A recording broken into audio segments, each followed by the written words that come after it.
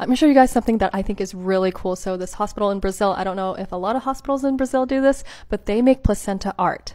So mothers have an option if they want to have their placenta painted and then they put it on a piece of paper like a stamp.